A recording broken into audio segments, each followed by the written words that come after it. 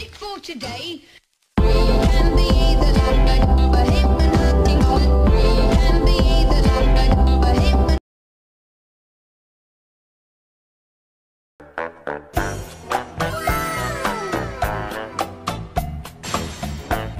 Maybe Nebby ate so much star candy that it actually turned into a piece. Don't be ridiculous. Sorry. Put a sock in it! Do you really want this bozo to join us? Figure it out, because someone here can't use Dark type Z moves. Norman,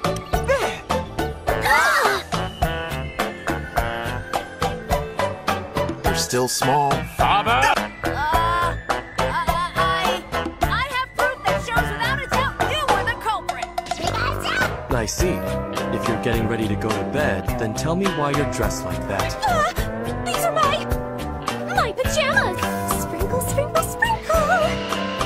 What's that for? Well, I'm just searching for the invisible bridge. Stop. The Pokemon that perfectly fits your description is Abomasnow. It's an Obama Snow. Yeah, no. So stubborn.